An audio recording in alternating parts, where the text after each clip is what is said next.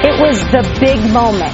The big moment. He was asking her to marry him, but in her excitement, that ring went flying, slipping away into the sea. Thousands of dollars washed away. As this new couple learned a pretty tough lesson, Fox 25's Erin Hawksworth with the story from South Yarmouth tonight. Erin.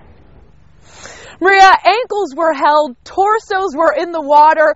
One lifeguard even cut his head trying to help this couple find that diamond ring.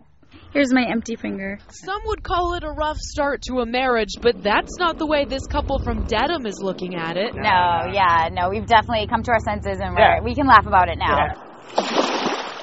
But nobody was laughing at Bass River Beach in South Yarmouth yesterday when Matt Colley planned to propose to his girlfriend Stacy Scanlon by tying a $9,000 ring to a sand dollar and placing it on this jetty. And I was like, "Oh, Stacy, look at that sand dollar."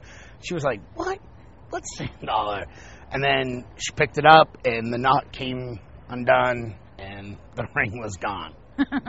That's when this couple, along with nearly 10 lifeguards, embarked on a massive search. Literally moved jetties. Like jetties, an like entire we picked jetty up was like moved. four to like five 250 pound rocks with like ropes and pulleys. The tides were definitely working against us in this case. It was low tide when they originally dropped the ring, but it was quickly coming in, and as the jetty was filling with water, we were unable to obviously get down to the bottom of where the where the ring probably was. Matt decided to pull the plug on the search after coming up empty handed for hours. That's when they broke the news to the jeweler. He went silent for about 30 seconds, and I said, "You see how silent you are for 30 seconds? Try four hours." But in life, there always seems to be a silver lining. And for this couple, that certainly holds true. His mom had insured it on Friday.